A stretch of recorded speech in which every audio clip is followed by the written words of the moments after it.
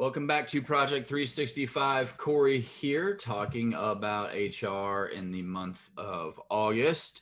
And the question for today is Should I give my employees vacation pay?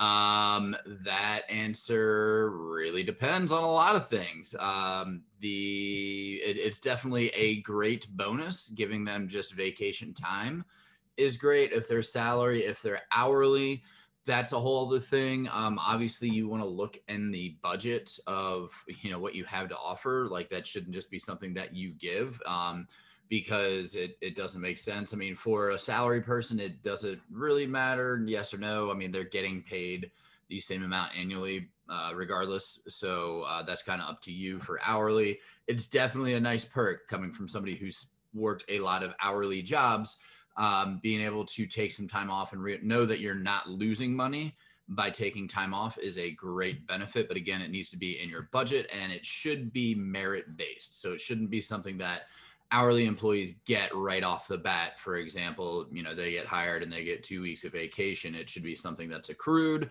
um, or something that they get at certain benchmarks. So after the first six months, first year, whatever it is, they get time that they can use. And what one thing that I especially like is just calling it like you can call it flex time or just paid time off or whatever it is.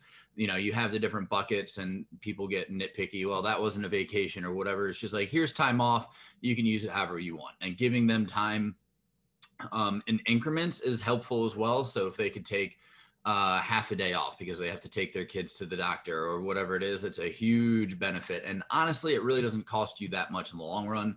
So I say yes, but make sure that the numbers agree with that before you just start offering it. And again, make sure that people actually deserve it. Just because they got hired doesn't mean that they deserve anything.